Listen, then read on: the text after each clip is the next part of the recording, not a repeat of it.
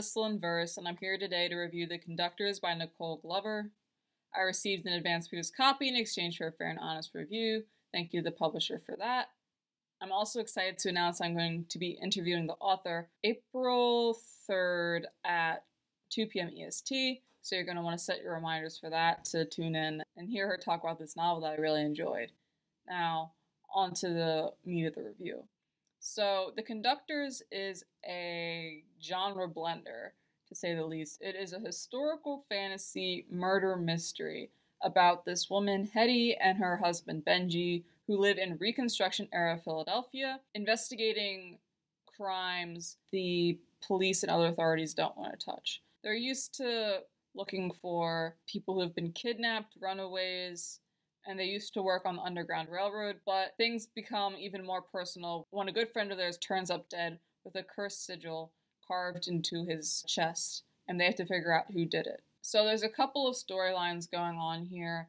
There is sort of this marriage of convenience subplot where Hetty has married Benji for business purposes, and over the course of the book, she begins to question her marriage and wonder if she knows Benji as well as she thinks she does, if there's more to their marriage than just a business arrangement. There's also a storyline about Hetty's sister Esther. When Hetty made a break for freedom, her sister got left behind and she's been looking for her ever since.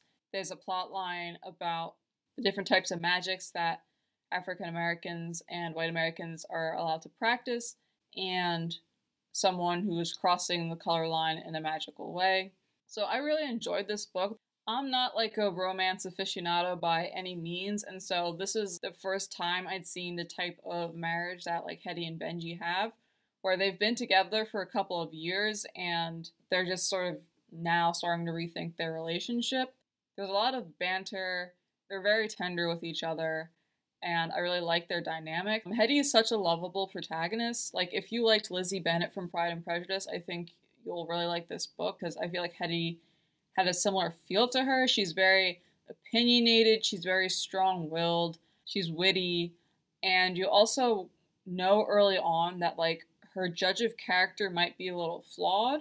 Hetty is a very fun protagonist. She's a skilled enough seamstress that she can walk away from jobs that she doesn't want, and if she feels disrespected, which is like always great to see. It's nice to see a black woman who's so self assured and has so much agency. She's also just very opportunistic. Like, she will lie or be deceitful if she thinks that will help her investigate a case. And she doesn't really have a whole lot of use for social niceties. It's not really in her personality. She's very blunt, which kind of puts her at odds with some of her more high society friends. And so it's funny to see her in those situations. And she really likes having an audience. Like, she really likes telling stories and she'll spin these like elaborate yarns about her time on the Underground Railroad.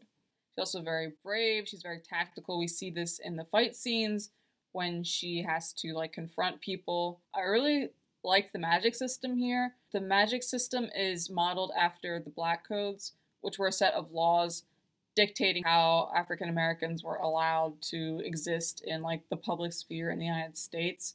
So that covered things like segregation, the white characters practice a type of magic called sorcery.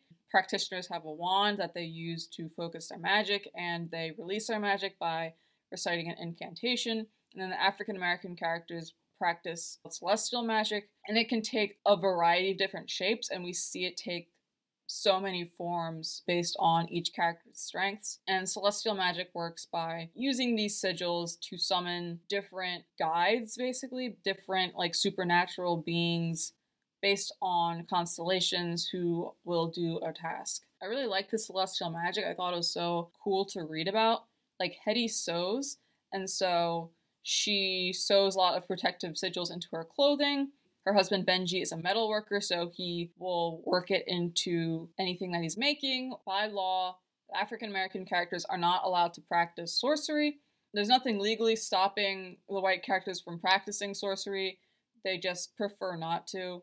Celestial magic is generally derided as inferior. I really like the star system. I hadn't seen that done before, and I thought it was a very imaginative take and I also just liked how adaptable the magic system was. It allowed for some very creative problem solving. I like the setting. Um, I think they have an outing on the Schuylkill. They cross over into Jersey, and they talk about the ferry ride there. And they talk about some of the streets in the downtown area when Hetty's going to and from work. The mystery was both confounding and simple. Like, as we were going through, I really had no idea who I thought the final culprit was going to be. Like, I made a guess and it was completely wrong. And when I found out who had actually done it, I was kind of annoyed at myself that I hadn't been able to guess it. So I'm curious if anyone who reads more mysteries is able to tell who the final killer is. But yeah, that was a lot of fun. There's a lot of red herrings. There's a lot of things to knit together to figure out like what's going on and to get a full picture. There's a lot of minor characters to keep track of. Hetty is very sociable. She has a lot of friends. And the friends have like cousins and stuff. And so that was a little hard to keep tabs on. I think two minor characters that stood out to me were Tom and Oliver. Oliver is a mortician friend who helps her look for clues on any dead bodies that she finds. And he had a partner, Tom, who had been living with him and then left out of the blue.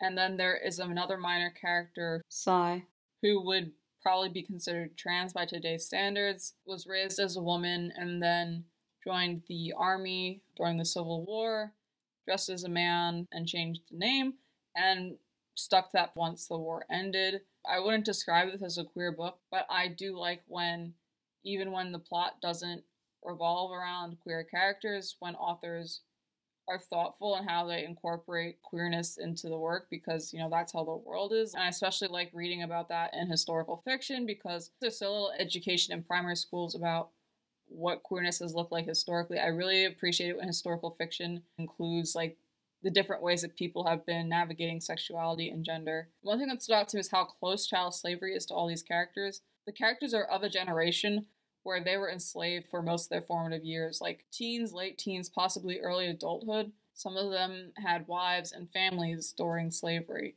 Pretty much every single character in the book has been touched by that. Hetty, in particular, because she practiced celestial magic, she was forced to wear a collar, which would suppress her magic, and that scarred her neck. And so she has like this lace decorative collar with protective sigils in it that she wears to cover it up like several of the characters met at the Freedmen's Bureau when they were trying to locate family members, spouses that they were separated from after emancipation.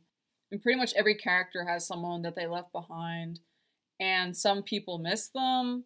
Some people have moved on from them. They feel indifferent about it. And some of them very much so want to leave everything about their enslaved lives in the past. And sometimes that involves people shunning Hetty. Like the legacy of slavery in this novel is like a ghost, right? Because everyone has some marker of it, either like emotionally or physically in some cases.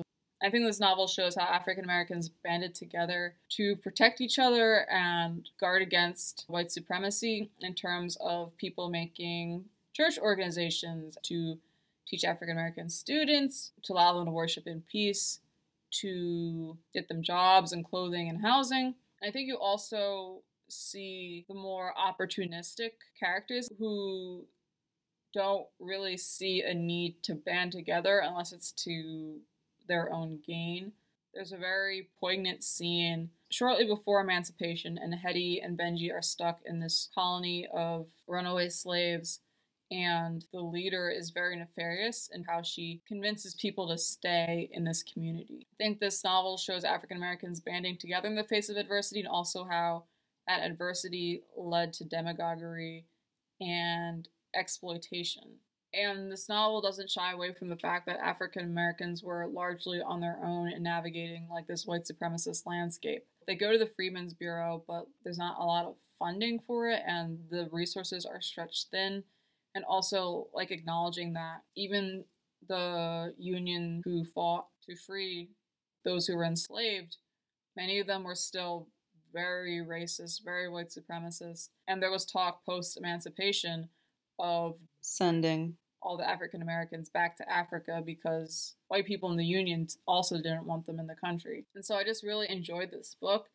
It gave me a lot to think about that had a very interesting mystery and a very creative magic system. I really like the period piece feel to it. Yeah, so there's just like a lot of things to like about this book, and I really recommend it. This is going to be out on March 2nd. Do you think you'll be giving it a read? What's your favorite historical fantasy? Thanks for watching. If you liked the video, please hit the like button. If you haven't subscribed already and would like to stay up to date with me, specifically if you want to be reminded of that interview I have coming up with the author Nicole Glover, you're going to want to hit the subscribe button and turn on notifications so that you'll know when that's happening. Thanks for watching. Have a good one. Goodbye.